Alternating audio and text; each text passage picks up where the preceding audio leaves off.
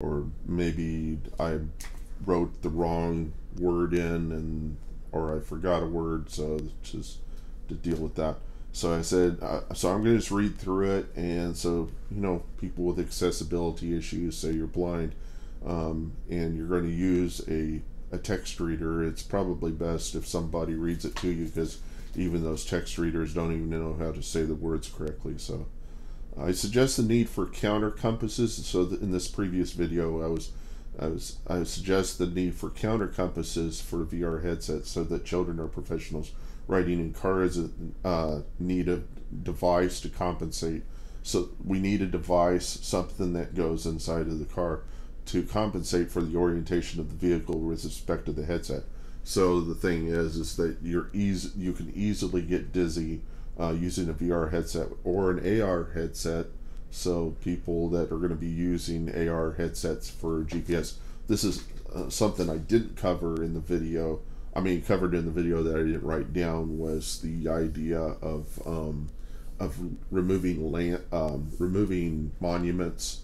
Um, I had watched a video about um, about um, the concern for Confederate reactions or reenactments um, that black people don't like Confederate reenactments because um, it gives too much emphasis to um, to the slave trade, and there are people who um, saw the Confederacy as not being about slaves, but being about differences of interpretations of the states, and that's I mean that's you should have that historical stuff, but if you've got monuments that black people don't like, then and I mean, it, we need. I think it's important that we know that in the past we had slave trade, but it um, for the sake of of um, not offending people, we probably shouldn't have those monuments around. And from the standpoint of somebody who's even a capitalist, a liberal capitalist would probably do this if there is such a thing. Most capitalists tend to be conservative, and the reason for that is that is that business idea that anything that's good for the consumer is bad for business. Any change is bad for business. So um, any new change of the culture or the environment can it can either make you or break you. It can either bring around a new market. It can either take away from something. You're always on your toes whenever you're a business person. But the thing is, is there's that idea, uh, that mindset that in the international community that if you're more if you're more aware of the complexity in the international community, you can see markets, you can adapt. People who don't know, who only know one language and don't know multiple languages can't adapt to different environments. They can't adapt to change very well. This is known as, uh, through evolutionary programs that um, when they run evolutionary programs, and these are artificial intelligent um, environments, um, you uh, environments you present to artificial intelligent algorithms, and you give them certain abilities, and then you see how they can compete or survive certain environments. That what you what has been found out through research of that is is that when you give uh, a when you give uh, something uh, an AI more uh, control, and more limbs and things like that, it's able to survive in environments that um, ones with limited control are not able to to um, survive in. Also, with multiple multiple senses, you have the ability to survive in environments that others can't. Um, however, with limited perception, there comes great creativity. Um, and I mean, it's to be, to be a comedian, you have to understand, you have to have experienced things that nobody has experienced. And with that, you can also shape the culture through being a comedian. You can shape uh, interpretation. Um, you can, there's significant abilities to being a comedian it, it means you can bring philosophy to people who would not accept a philosophy.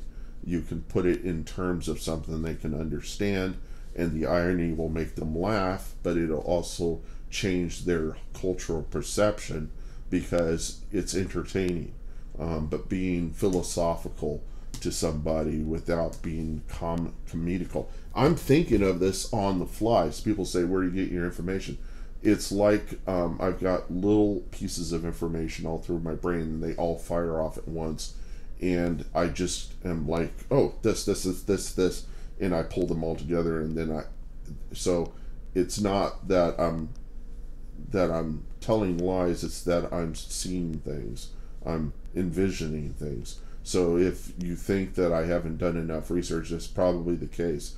I it isn't that I'm jumping to conclusions, it's that I'm pulling from things in my memory. And your brain has limited conceptual ability and also the your, your ability your education is going to influence your ability to describe.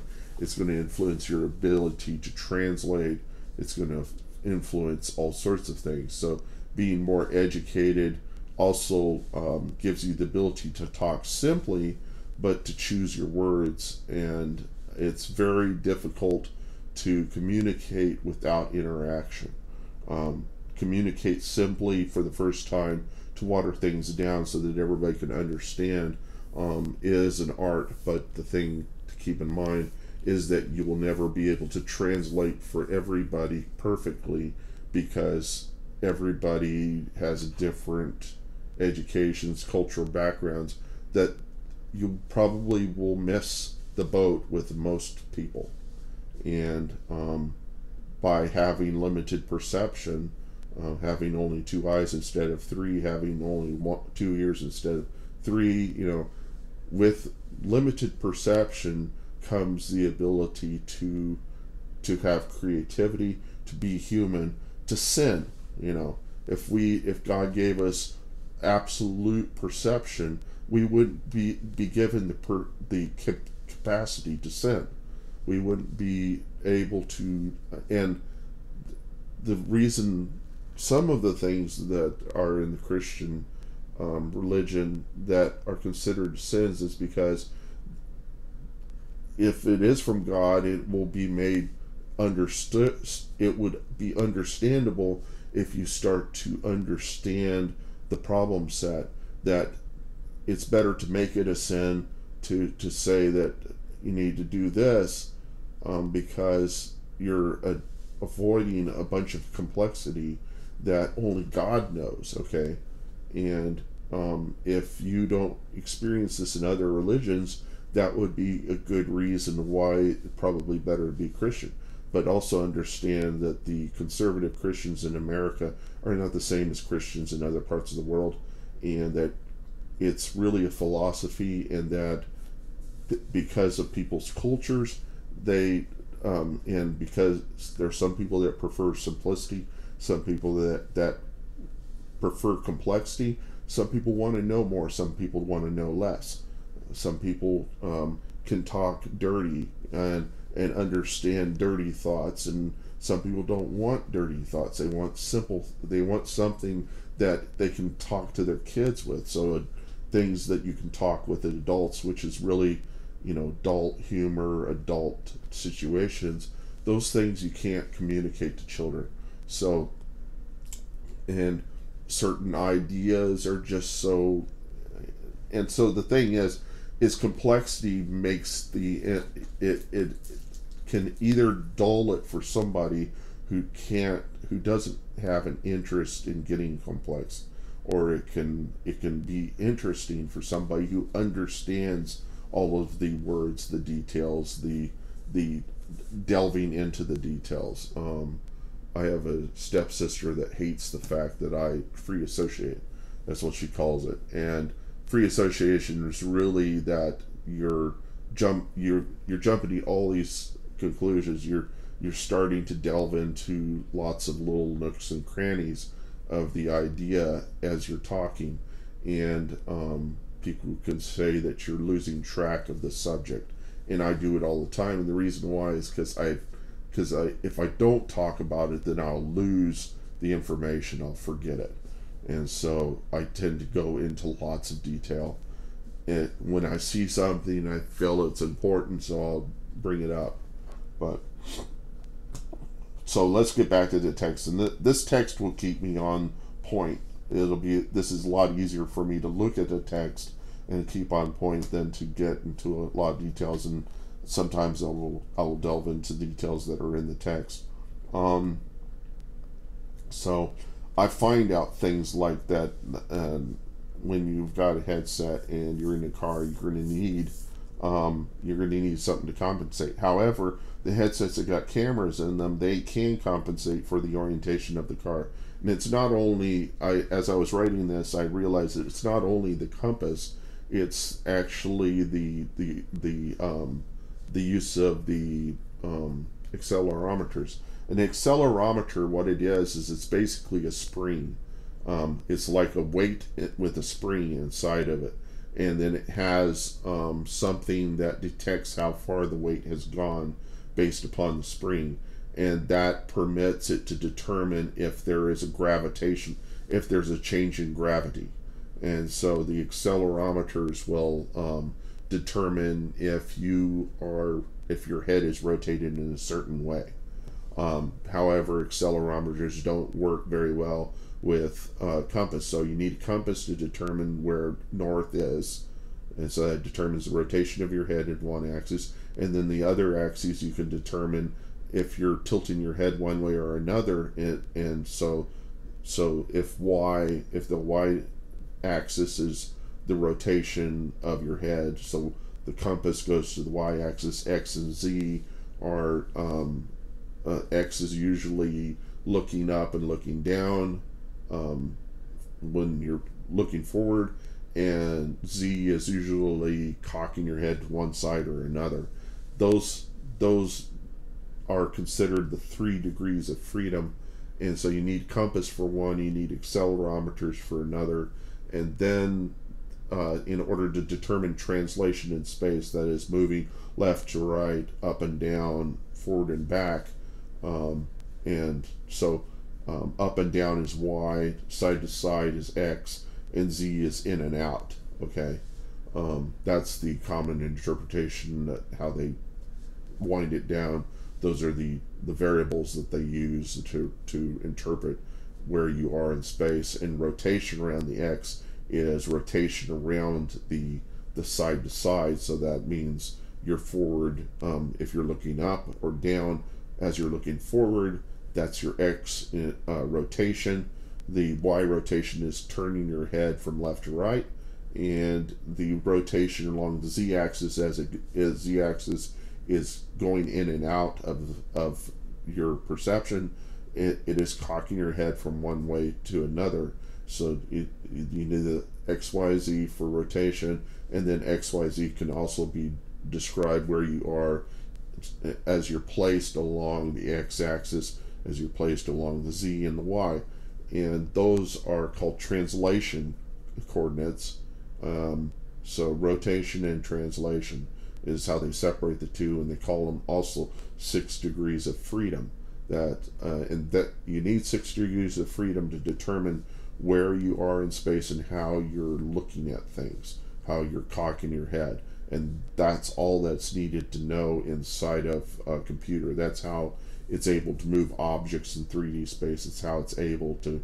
But then there's another another um, another uh, degree of freedom which will never involve, but we may involve in the future, and that scale, scale on the X scale on the Y scale on the Z, and that's the size of the thing. So you have to scale things.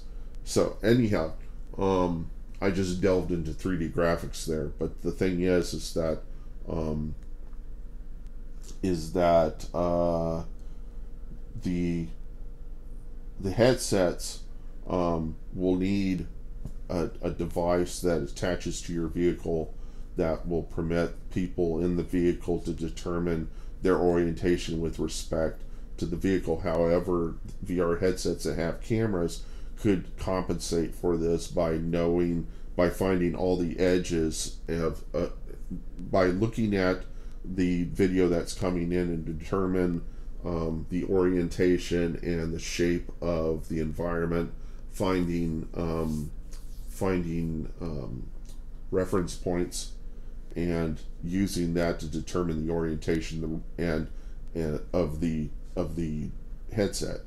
And that's what's used on the quest to determine where you are in the room.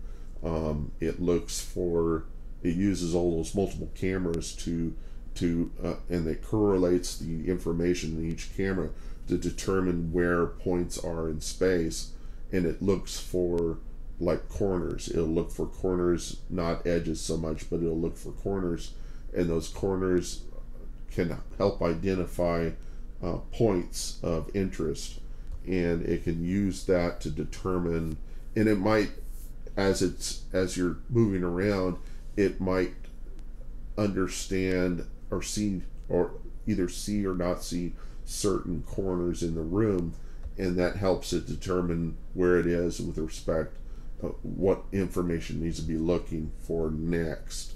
So if you were to move into a hallway it needs to it it needs to know something about the space to determine um, your orientation. And um, also putting your hands in front of your face is going to change what it knows about the space and it may just stall. So um, that but a way of getting around that with other VR headsets is to use these little these little um, sights that you put around your these little devices you put around your room that determine your orientation of your headset with respect to those things and they can use radio waves and if they use radio waves then it permits um, it it it wouldn't matter where you were you would be correct. If it uses infrared then it's line of sight and that would prevent that um, from you know if you were doing anything that involved your arms and didn't use the hands uh, the handset.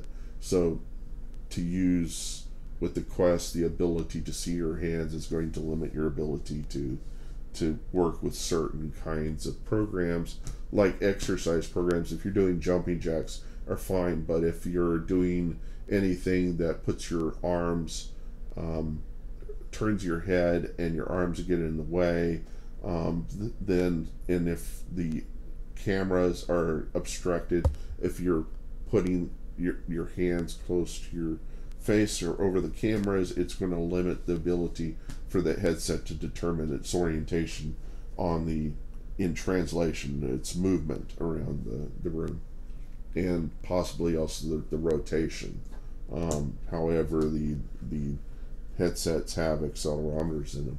Also, if you're in zero G, then you lose your ability to have the accelerometers so um, people that are in space shuttles or in, in spaceships, um, or people that are in planes, and um, gravitation is going to affect the accelerometer, so you can't determine orientations there. Um, you would need so you just have to delve into the details of that.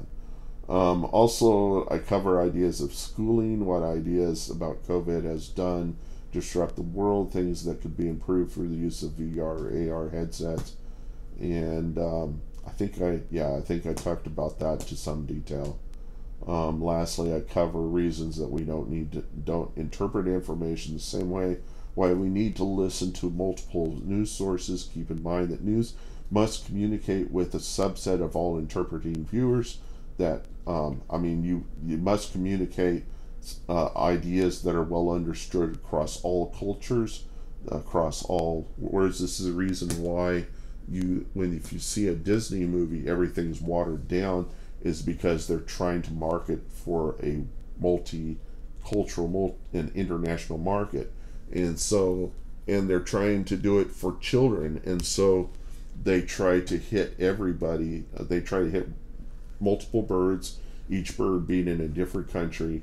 Uh, each audience is a bird, and you're trying to hit them all with one stone and so what happens is you lose a lot of the a lot of the necessary detail that would make it an interesting story and so disney has a complex thing that they try to do because they're trying to sell that to everybody and they're only trying to create one uh, in, uh, one perspective um, if you've if you're in india and you wonder why it's so easy to see good productions like Simpsons and Baywatch. This is how it was translated to me. Even though you probably don't see Baywatch, I I had an instructor, a media one on one who was Indian, and she said that at the time that um, it was really tough to come up with a good production because um, the the facilities needed to do good pr- production um, were not available, and so it was so much easier to syndicate content from America than uh, good productions from America because we have Hollywood and we have significant tools and resources to create good quality movies. Um, it limits the kind of movies that can be made. Uh, it, in India, they can't afford to spend the kind of money we're spending on movies in America, and so they're uh, movies that are um, that are specific to their culture are very hard to make, or they or they have to get a lot of people involved, and it tends to turn into musicals. Um, they like musicals. Uh, they tend to be very good, uh, very bad quality musicals and it's because of the limitation of the recording resources. Um, sometimes it's just not delving into things enough. Maybe their their um, their audience doesn't need a whole lot of quality in order to have a, a good experience. Um, also, my teacher said that um, in in theaters in India they have a tendency to stand up and dance around, so it's it's more a party than it is just a theater where we sit in the theater and we watch and don't talk. In India that it's a different experience. So if you didn't understand that, you probably would uh, it would you know in other cultures ideas have developed um, in areas that have not developed in our culture, and that's the problem with cultures that when you when you get um, movies that are easy to syndicate, it has a tendency to um, it has a tendency to uh, homogenize the cultures throughout the world. And that's good because then people see more eye to eye and it's easier.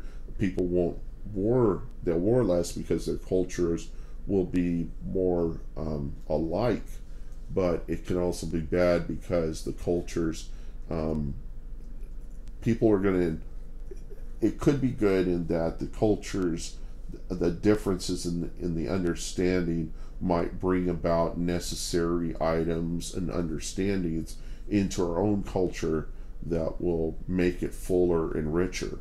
And um, that's the reason why you need to bring more people from other nations into America so that when we produce movies that that it it is more relevant to their culture um, and that their cultures influence ours. However, I don't believe that everybody needs to speak multiple languages. I think it would be better if more people speak English and that whatever is unique to their language, that somehow it enters our language through slang and we become we get a richer language. There's going to be language loss that happens with every generation, um, but the you need to uh, you know what? I've been covering the mic, so I don't know how many, uh, how much I've been. You know what? And the other thing is, is my my microphone. Oh, it is. It is. I mean, my headset is hooked up so that it permit it prevents you from hearing too much echo. But um, anyhow, um, but yeah, um, culture affects it, and the syndication at the time it was seen that the syndication of content um, was homogenizing cultures and that is is making the cultures all pretty much the same. Is the reason why in other countries people tend to like American stuff uh, is because um, it all of our all of our stuff is created in China. It it spread to other countries. Uh, we had like hand me downs we would end up sending stuff to other countries. People would start to like our movies more um, because there was things ideas in our movies that weren't available to their culture. Their culture had certain taboos that we don't have taboos. Um, we've gotten over the sort of things that they s- still s- are dealing with. Um, we're advanced, but we're advanced because we bring in all cultures and we try to um, try to we try to get uh, we try to become a better um, we are become better as a result of bringing in these cultures. That's the diversification.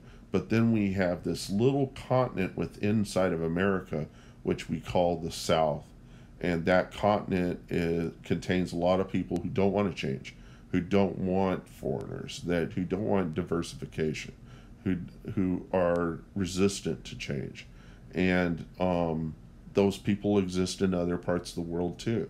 They they're resistant to our culture. We're um, resistant to everybody else's culture, and um, if we're one way to fix that is by letting other people become a part of our culture. That um, if you're from the south, permitting people in other parts of the world to also become Southerners, like the British like. Um, they like westerns. They like talking like Southerners in America, and there are even people in other countries who might start to take on a Southern culture. They might like the simplicity in the of the Southern culture or the complexities in various other ways that uh, the Southern culture has. But um, not everybody's going to want that, and um, it's what leads people to listen to country music because country music doesn't tend to have a whole lot of of um, and that's that's the country view is is that the the tendency toward uh, simplification, the tendency toward um, becoming broad instead of vertical.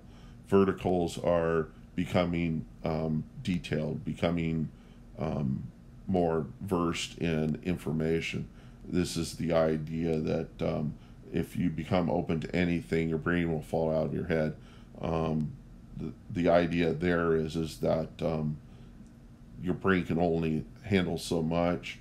Um, however, and they you can still be relatively complex and still be simple in how you interact with other people.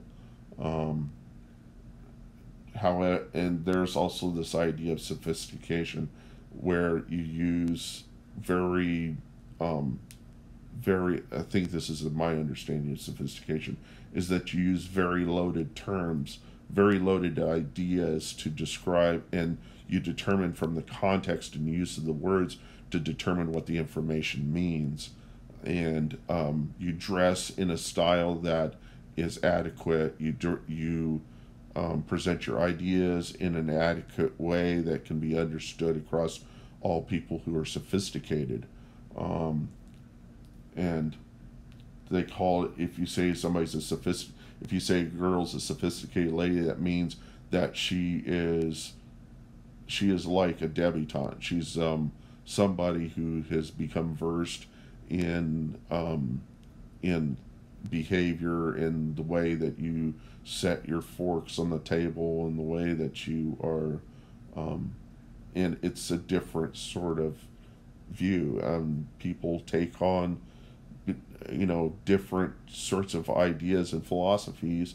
You know, people who want to become Jamaican or like, I mean, take on reggae, but not all Jamaicans are reggae are into the the Rastafarian style. They some of them might actually be interested in being country western and wearing a a cowboy hat and living on the range and completely identify with that lifestyle. Um, but the thing, see, the thing is, is that um, if you go outside of your area of of of, of um, if you go out outside of your comfort zone, um, you have to be prepared to understand multiple cultures to get more detailed in understanding, and um, that's my perception of conservatives is they tend to um, prefer the way things have always been done. They tend to resist change unless it's necessary. But when something drastic happens, like this virus, um, and we're unprepared, um, there's somebody in the past that got into some details and was trying to convince us, and we just were resistant to that change um, because change costs. It um, it costs you money to change. It costs you money to prepare. Um, there are times when preparations don't cost money in cases of um, preventive uh, care in healthcare. Uh, you do preventive care to avoid health care costs down the road um, by being more trying to predict things that might happen to you, but spending a lot of time predicting things limit your abilities to do things you want to do. Um, and if you are versed in Southern culture, uh, you would understand the reason why a lot of people are pushing back against the precautions that were taken with COVID. Um, if you're part of the Jewish community, you're going to get, and you were in New York, you got hit hard by COVID. It changed. They changed their their culture is likely going to change, at least in New York, as a result of COVID, to become more accepting of people around them because the Jewish culture um, tends to prefer their own people, as just as Southerners do. Um, they're going to prefer people that are within their clique.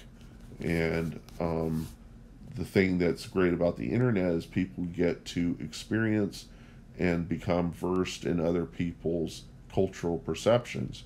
Uh, but not everybody wants to do this. And the internet has also created people who spreading misinformation that are taking in that information not being able to properly interpret it not wanting to really understand it pushing back on it and um, watering it down or misinforming themselves. And it's um, making a lot of southerners um, if they're the southerners who are not into the verticals but are into the broad um, the simple living, um, they're going to become more limited in their ability to to adapt. And and if if you have cultures around you that are more capable than a southern culture, if the southern culture is not able to adapt, then it gets lost. Um, there are, I'm sure that there's a lot of in India, there's a lot of pantheism, and the problem with pantheism is is that it's brought about by um, by superstition, uh, by believing that there's a God for everything. Um, you pray to all these gods because um, you think that by appeasing them, you are going to avoid, uh, you're going to experience less um, of the harsh realities that confront you. Some people don't have that, don't do that. They um, delve into having multiple personalities, and each personality deals with the situation. If they're being abused, they'll develop multiple personalities. That's what your brain does. Um, and there were lots of superstitions in the Jewish times with the Christians. That was the reason why Jesus walked on the water, some people think, is because in the Jewish culture of the time, they saw that the lake was the entrance to hell. So people thought that um, if they were to be out on the water, there's the reason why the apostles were afraid of the water is because um, being out on the lake, the reason why they were terrified, it wasn't from drowning, it was their fear of hell. And that was the reason why Jesus walked on water. So, you see, that's an amount of detail, something that a normal Christian would probably not know something about. Um, and it's necessary to understand something about a culture but you can't retain everything um, in a text. You have to go back and read other texts. You have to interpret from multiple sources. That's the reason why when you get news it's going to be watered down for everybody. If you watch a disney film it's going to be watered down for everybody in the world. Um, it's going to be liked by everybody in the world. Um, but it's it's a matter of the the um the Venn if you've heard about Venn diagrams that's those circles where that you draw on a on a paper and you can show what everybody agrees on. If everybody's in a circle each culture is in a circle you can find where they intersect. You try to determine where they intersect where they're different where each where each culture is like the other where all the cultures are like each other.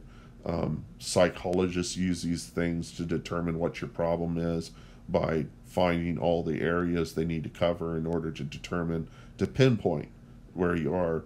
Uh, there's a kind of uh, Venn idea diagram in how um, triangulation works with um, with GPS satellites. The reason why it takes so long for a GPS satellite to determine where you are is to determine um, which radio towers, which can only determine if you're um, within a ray, uh, uh, if you're in in a in a circumference uh, I mean, if you're in a not a circumference in a an angle, an orientate. Uh, actually, radio towers can't even determine angles.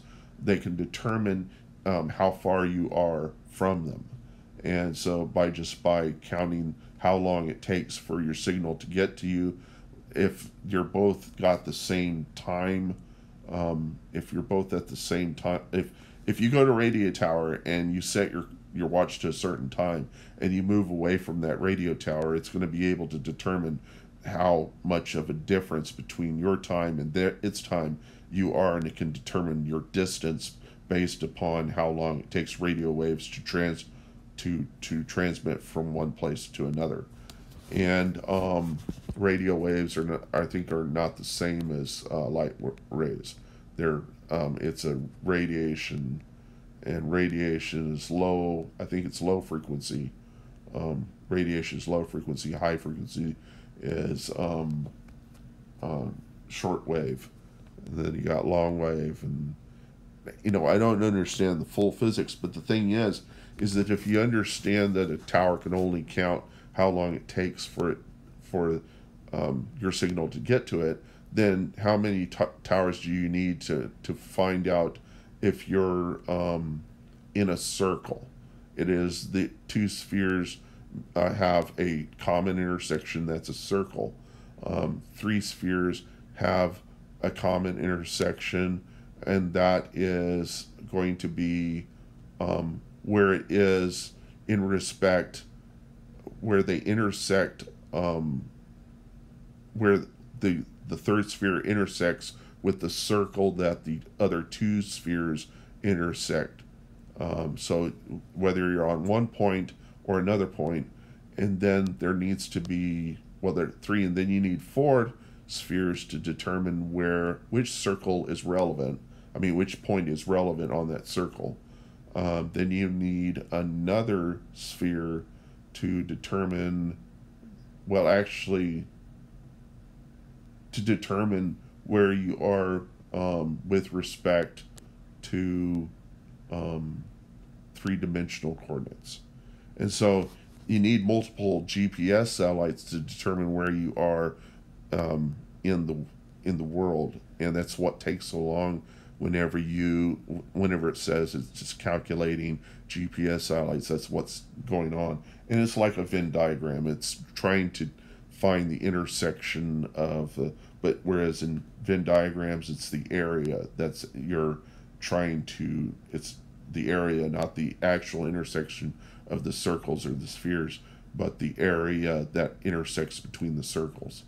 And so those various ideas, if you didn't understand something about Venn diagrams or things I've talked about, then when people talk about things, you don't see things, you can't visualize. That's the um, the art of visualization is the ability to know much more about the world. And the more you know, or the more you think you know, um, the better you're able to communicate those things to other people. And it also helps to interact with people that develops more of an understanding um, as you interact. Um, the things you don't know, you interact with other people, you're able to develop an understanding because a text is not going to be able to interact with you. Uh, reading a book presents you information, but you don't know the details of that information, even looking at dictionaries or Wikipedias or things like that, can give you some understanding, but it helps to also interact with people because they're probably going to open you up to understand your locality, your the culture of the locality.